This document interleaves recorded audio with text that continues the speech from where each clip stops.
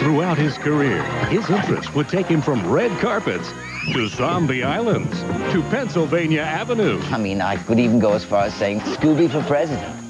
Why not? And those that know him best say this is all just the beginning. Scooby can do anything he wants. He's a remarkable actor. Join Cartoon Network and CartoonNetwork.com for Scooby Hits Hollywood. Beginning next week at 7 on Cartoon Network.